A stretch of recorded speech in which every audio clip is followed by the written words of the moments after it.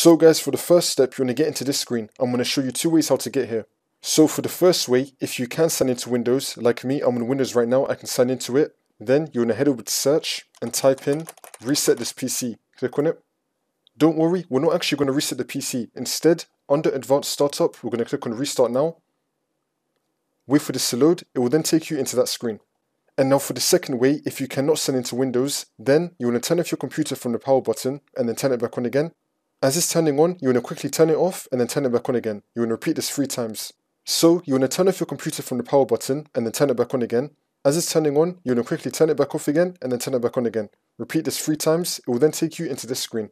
It's going to say that your PC did not start correctly, you want to click on advanced options. And now once you're on this, I'm going to be showing you three different methods. So for the first method, you want to click on troubleshoot, advanced options, and then system restore. If you do not see system restore, then you want to click on CMOD recovery options, and then it should appear right here.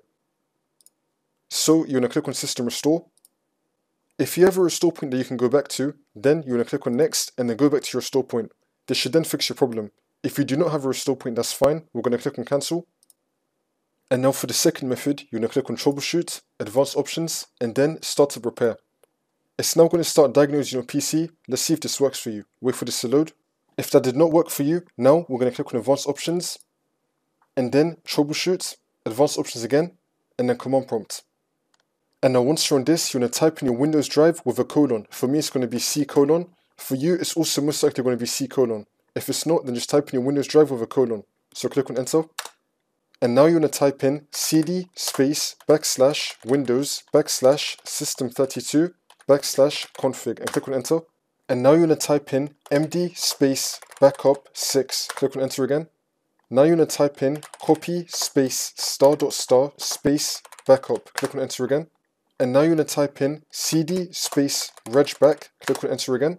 And now you're going to type in copy space star dot star space dot dot. Click on enter again. And now you're going to type in A. Click on enter again. If you see any errors on my screen, just ignore it. But in your case, it should be working. Now you're going to close out of command prompt. Then you just want to continue to Windows and then the problem should be fixed.